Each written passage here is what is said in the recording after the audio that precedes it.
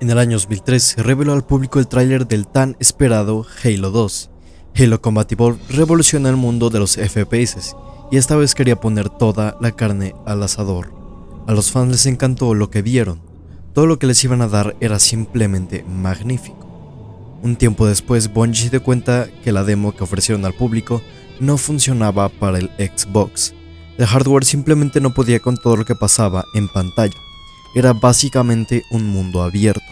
El hardware no lo podía soportar, por lo que el trabajo de dos años de desarrollo sirvió para nada.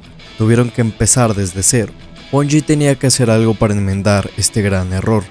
Tenía que dar la talla para todo el hype que los fans tenían. Tenían que hacer un trabajo a la talla de uno de los shooters más influyentes de la historia de los videojuegos, ya que aparte iba a ser el juego insignia para el en ese entonces Xbox 360.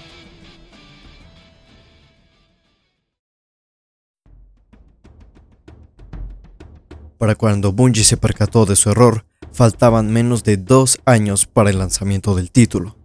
Para poder lograr su titánica tarea, tuvieron que recurrir algo que, lamentablemente, se da en muchas empresas de videojuegos hoy en día, el famosísimo y horrendo crunch. Que para los que no sepan qué es el crunch, podría traducirse como crujido y se utiliza para referirse a las interminables jornadas laborales de entre 50 a 100 horas semanales que sufren algunos trabajadores para poder terminar los videojuegos a tiempo. En resumen, explotar a los trabajadores. El crunch se alargó por los próximos 18 meses para tener el juego listo. Un año y medio de crunch. Los procesos que tuvieron que hacer los trabajadores fueron simplemente impresionantes tuvieron que desechar casi todas las mecánicas que tenían planeadas originalmente porque no les iba a dar tiempo. Los trabajadores se quedaban a dormir en los estudios para así no perder tiempo y seguir trabajando en el desarrollo, que por cierto, muchos de estos procesos ni siquiera los probaron del todo porque no les iba a dar tiempo.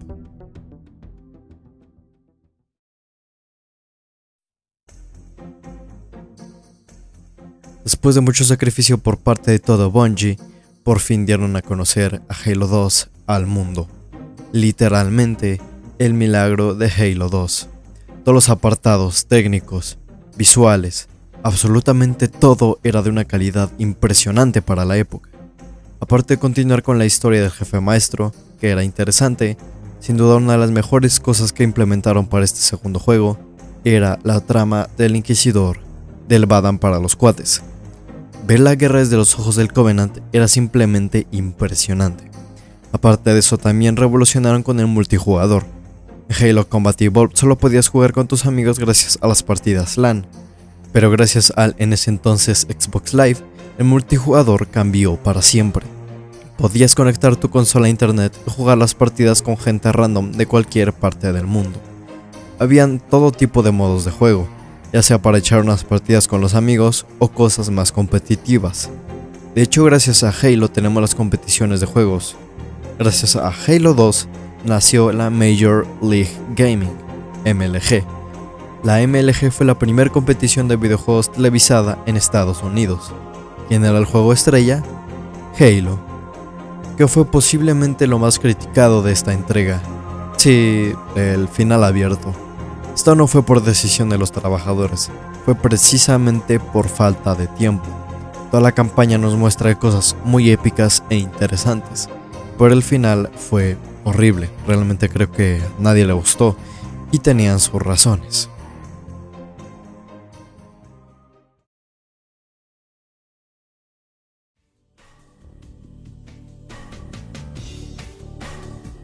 Halo sin duda ha marcado historia en el mundo de los videojuegos, siendo un punto y aparte en muchas cuestiones.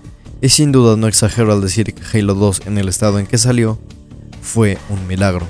Todas las limitaciones que fueron surgiendo a lo largo de su desarrollo y cómo los trabajadores lidiaron con todo eso fue simplemente impresionante. Pero ¿qué pasa con Halo hoy en día? Si quieres saber qué pasa con Halo, mira este video.